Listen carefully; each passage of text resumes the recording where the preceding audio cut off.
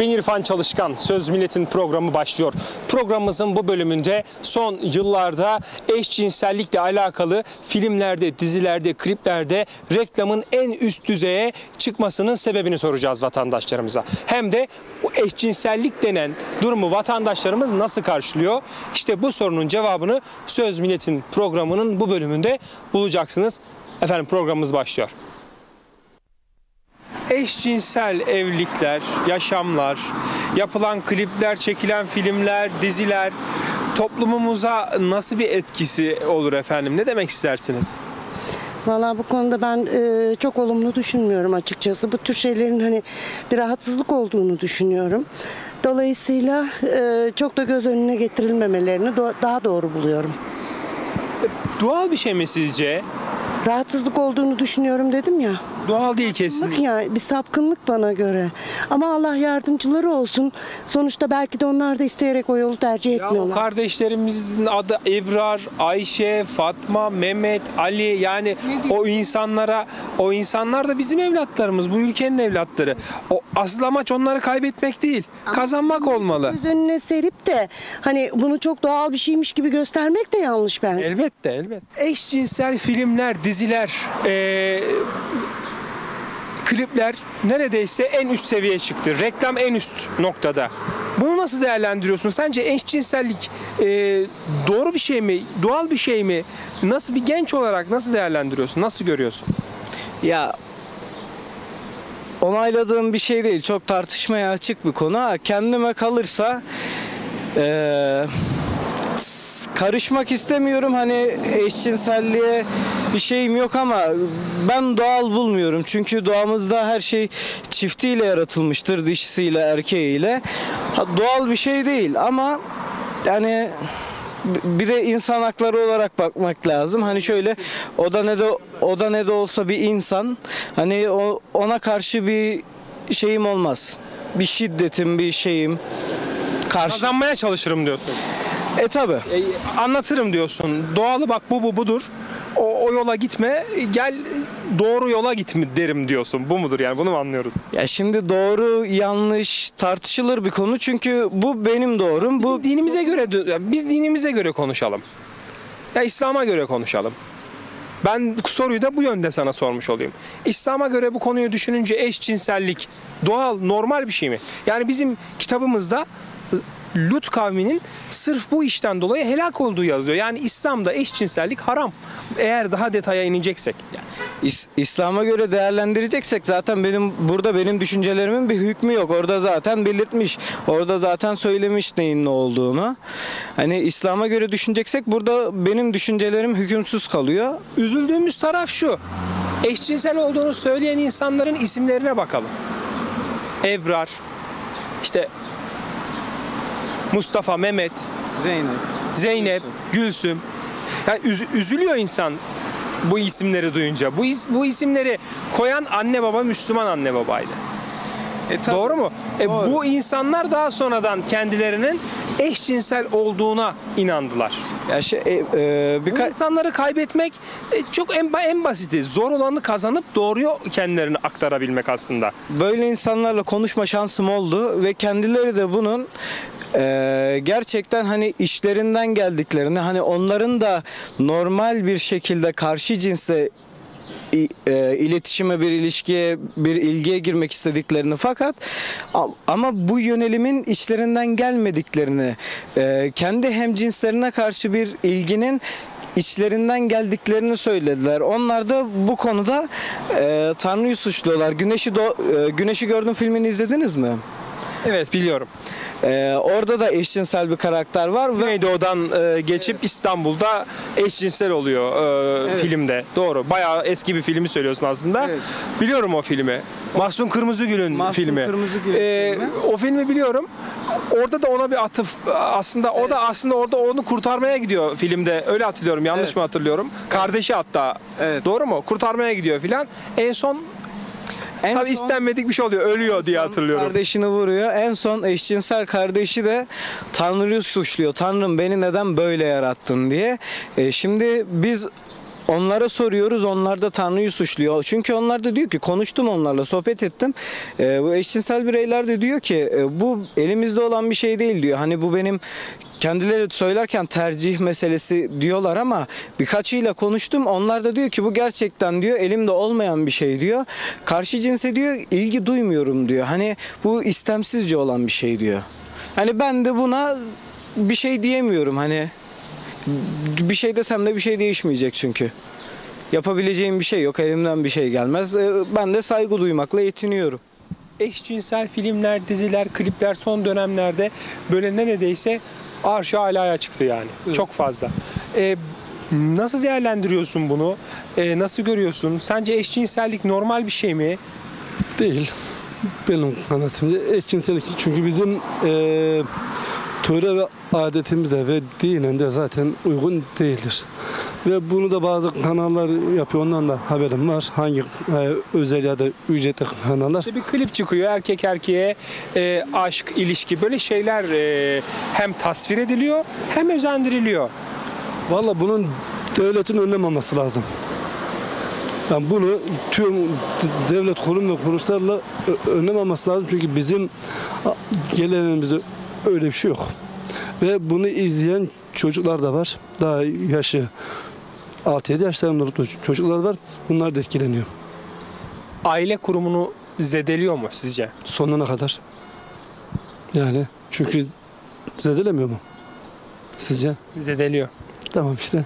Yani o yüzden devletin önlem alması lazım ve önce de hiç iyi değil. Yani tamam eee, başka yabancı insanlara göre hoş bir şey olabilir ya da yasal da olabilir diye biliyorum ben. Başka ülkede ama Türkiye'de öyle olmaması lazım.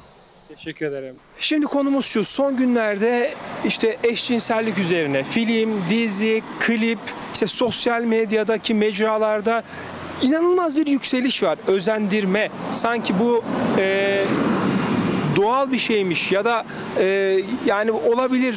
İşte insanlar istediği gibi yaşayabilir. Yani sanki böyle e, doğanın bir kanunun bir parçasıymış gibi e, e, tamamen e, suni olmayan şekilde yoğun bir Reklamı e, var. reklamı var. E, nasıl değerlendiriyorsunuz eşcinselliği? Yani şunu söyleyeyim size.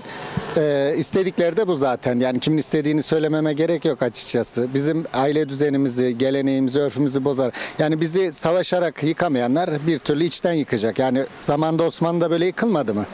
İçten yıkacaklar. O da ne olacak? E, tabii ki e, gündemde olan yıldızları kullanarak, şey yaparak örf adetlerimizi, çocuklarımızın e, yapısını bozacaklar. E, din yönünden de gireyim size yani sistem artık mevsimler bile bozuldu fark ediyorsunuz. Yani bunlar sadece doğal olay değil bunlar uyarı. Yani allah Teala'nın bize bir uyarısı diyorum İbret size. alanlar için aslında baktığında. Aynen öyle. O Bunu anlama, bakın- anlayanlar için. Anlamayanlar için sadece iklim değişikliği, iklimin Aynen bozulması. öyle. Ya bunun arkasındaki o manevi düşünceyi, manevi mesajı algılamak da biraz iman İman gücü. gücüyle ya da imanla alakalı bir durum. Sen diyorsun ki direktmen evet e, tabiatın düzeni bozuldu, şu bozuldu, bu bozuldu. Gerçekten bunlar bir uyar. ibret alanlar için gerçekten bir ibret. Yani açıkça söyleyeyim size e, bu konularda zaten e, sessiz yani bir Müslüman olarak sessizde kalmamamız gerekiyor aslında. Bu eşcinsellik bu konularda yani Ya bizim için üzüldüğümüz uygun, taraf ne biliyor musunuz? uygun değil yani. Eşcinsel olduğunu söyleyen insanların isimleri Ahmet, Ali, Ebrar, Mehmet, Neden Hasan, bunlar yani Hüseyin yani isimler böyle. Ama eşcinsel olduğunu söylüyor. Yani bu insanların anneleri babaları Müslüman. Kendilerinin aileleri Müslüman. Yani bir evladına Hasan, Ebrar, Mehmet, Ali ismini, Fatma Ali ismini koyan bir anne baba eşcinsel olabilir mi? Söz konusu olabilir mi? Hadi bırakın Müslüman ya annesi babası. Aynen sana katılıyorum. Bu insanları kazanmak ne kadar önemli sizce? Ya size söylüyorum işte yani ben tarih en önemli şey tarihi bilmeyen hiçbir şey bilmez. Bizi Osmanlı'yı nasıl yıktılar? Nasıl yıktılar yani ben size soruyorum. İçten yıkmak yani bizi başka türlü yıkamayacaklarını biliyorlar. Her türlü bizim aile geleneğimiz birbirine sıkı aile yapısını bozaraktan hedefleri de bu zaten. Sizce yani önceden e, bu kadar yine yaygındır ama gündemde değildi. Şu anda niye gündeme çıkıyor? Bu yüzden reklamını yapıyorlar. Yani benim düşüncem bu. Yani e, bu eşcinsel yaşam sizce e, doğal bir şey mi? Ya doğal değil tabi %99'u Müslüman bir ülkede yaşıyoruz. Bu da dinimizce uygun bir şey değil. Daha önce allah Teala'nın yaptığı gibi e, yani helak ettiği kavimler var. Yani o duruma da geliyoruz yavaş yavaş. Arkadaşımızın dediği gibi e, e, şimdi geçen haftalarda Ankara'da sel felaketi oldu. Daha önce böyle bir şeyler var mıydı? Türkiye genelinde olmaya başladı. Allah bize bir e, uyarı yapıyor. Ya dikkat edin kendinize diyor. Çeki düze verin diyor. Ha, bu olan kişileri de e, tabi topluma kazandırmamız lazım. Bilinçlendirmek lazım. E, inşallah doğru yolu bulurlar diyorum. Hepimizin de çoluğu çocuğu var. Ya aileyi etkiliyor. Şimdi televizyon programlarında dediğiniz gibi adamlar e, bir dizi çekiyor. Dizide ahlaksız ya doğru sanıyorlar sanki. O onun kardeşiyle yatıyor, o onun arkadaşıyla yatıyor. Yüz yüze bakıyorlar. Bunu doğru sanıyorlar. E, bu da tabii çocuklarımızı etkiliyor. İzliyorsun. E, izleme e, potansiyeli artıyor bu konularda. E, inşallah bunun da düzelmesini istiyoruz yani. Bazı kanallardan yayınlamasınlar artık. Yani böyle diziler de olmasın. Türkiye kötü bir yola doğru gidiyor yani altyapısı. E, düzenlemek e, inşallah büyük devlet yetkililerimiz buna bir rütük falan el atar. Ya Düzel- bu söylediğiniz e, konuya ilişkin mesela uluslararası işte dizi film platformları var. Şu an isimlerini söyleyemediğim birçok platform var. Hele bir tanesinde hele bir tanesinde eşcinsel ilişki olmayan bir çizgi film neredeyse yok. Şuna bak ya. Eşcinsel film, eşcinsel içerikli dizi. Yani dizide bir karakter varsa ya da filmde bir karakter varsa o platformun yaptığı, ürettiği içerikteki film ya da dizi için konuşuyorum ya da çizgi film için konuşuyorum. Kesinlikle ve kesinlikle bir eşcinsel karakter içine koyuyorlar. Sanki onu yapmazsan aslında e, Bunu da kötü gibi algılanıyor. Çocuklarımızı etkiliyorlar. Aslında bilinçaltına giriyorlar bunları göstererekten ki normal, bir şey diye e, öğretmeye başlıyorlar. Ha, doğru değil bunlar. Tabii bunları da ailelerin izletmemesi lazım. Ha biz elimizden geleni yapmaya çalışıyoruz ama herkes de tabii çocuğuna sahip çıksın. E, Açıkçası dikkat- şimdi Z kuşağı diye bir şey var biliyorsunuz. Z kuşağı da yeni e, yeni yeni oluşum içerisinde. Bu Z kuşağının beynini bu şekilde yıkarsan Türkiye'nin geleceğiyle de oynarsın açıkçası. İnşallah evlatlarımızı İnşallah. koruyacağız, kollayacağız. Evlatlarımızı korurken de kendimizi koruyacağız ki evladımızı koruyabilelim. Aynen öyle. Çok teşekkür ederim abi sağ olun. Ee, abi şimdi eşcinsellikle alakalı sorumuz Söz Milletin programına özel. Sizce son dönemde artan bu reklam, eşcinsellik reklamı e, ne ifade ediyor? Eşcinselliğe siz nasıl e, yaklaşıyorsunuz? Ee, şimdi bizim dinimizde eşcinsellik haram. Biz buna inanıyoruz. İnandığımız e, inandığımız e, dinin tam aykırı bir e, davranışımız var. Bunu e, nasıl söyleyeyim? Herhangi bir yasağı yok. E, çocuğa tacizde bulunuluyor. Erkek ya da kız çocuğu fark etmez. Tacizde bulunan birisine çocuğun da e, razılığı vardı diyen bir e, şeyimiz var. E, iktidar üyelerimiz var. E, dinde faiz haram işte e, eşcinsellik haram diye fetva verip ama aynı şeyleri kendilerinin yaptığını bazı e, artık karanlık Peker'in e, açtığı ve yayınladığı videoda gördüğümüz gibi bunlar bizim ülkemizi yöneten siyasetçilerin yapmış olduğu şeyler. E, Bunları bütün halk gördü. Bunlar yayınlandı. Bundan sonra bunun önüne geçmek yani çok zor. Öyle bir yasak koyulacak ki yasaklar uygulanacak. Mesela senin bir yasa e, devlet olarak sen bu konuyla alakalı yasak koyacaksın. Eşcinsellik e, haram, dinimizce haram, ülkemizde de yasak. Dedin mi dedin. Böyle bir olay gerçekleşmiş mi? Gerçekleşmiş. Bunun cezasını vermek zorundasın. Vermiyorsan eğer güzel giyimli e, ihal indirimi ya da benzeri şekilde bir şekilde bunu geri salıveriyorsan bunu salan da aynı, bunu yapan da aynı. eşcinsellik doğal bir şey mi? Ve bir de son aylarda özellikle filmlerde, e, dizilerde, kliplerde bir eşcinsellik reklamı da e, en üst düzeye çıktı. Bir vatandaş olarak nasıl değerlendiriyorsunuz? Eşcinsellik kesinlikle doğal değil. Doğal olmadığını hepimiz biliyoruz yani siz de biliyorsunuz. Ee, Tabii ki son yıllarda yaygınlaşma olayı bilmiyorum gerçekten yaygınlaştı mı yoksa medya mı bize e, bunu lanse ediyor? Emin değilim ama e, bunu isteyen birileri yaygınlaşmasını, bulaşmasını diyeyim isteyen birileri var. Bu kesin. Şöyle e, sizce aile kurumunu dinamitleyici bir özelliği mi var eşcinselliğin? Ya daha doğrusu aile kurumunu dinamitliyor mu? Ya maksat aileyi çökertmek. Bu bir tane amaçlardan birisi aileyi çökertmek. Ama onun dışında e, insanı bitirmek. Yani insanlığı bitirmek. E, kimle savaşıyoruz? Karşımızda kim var? Kim bizi bitirmek istiyor? E, inancına göre herkesin buna bir cevabı vardır. Bana göre şeytan. E, şeytan bizi rezil etmek istiyor Allah'ın karşısında. Bak secde ettiğin et diye bana emrettiğin insanların haline bak. Bu yani. Gösterecek yani Allah.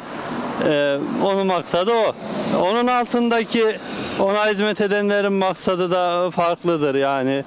Ee, ne bileyim mesela bizim milletimizin dışında bizim milletimizi çökertmek isteyen insanların yani rakip olarak görüp düşman olarak görüp e, amaçları da vardır. Onlar da aileyi bitirip ya da ne bileyim e, Türk insanını bitirmek isteyebilir. Veya bir tane e, egemen bir millet dünyanın e, hakim olmak için dünyaya e, diğer milletlerin bitmesini isteyebilir. Onu de, o yüzden bunu yaygınlaştırmak isteyebilir. Değişik nedenleri, sebepleri vardır yani. Şu cümlenizi Mikrop ve iğrenç bir şeydir, bir sapıklıktır. E, bunu e, tabii ki insanların %90'ı bunu böyle kabul eder.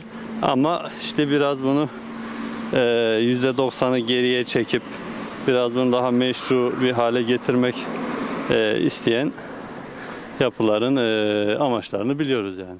Söz Milletin programının bu bölümünde vatandaşlarımıza eşcinsellik nedir? Bu duruma nasıl yaklaşıyorsunuz diye soru yönelttik. Vatandaşlarımız kendi bilgilerince, kendi hayat tecrübelerince bu soruyu cevapladılar. Tabii ki genel olarak bu duruma karşı olduklarını ifade ettiler. Efendim Söz Milletin programı burada sona eriyor. Başka bir bölümde görüşmek üzere. Allah'a ısmarladık. Hoşçakalınız.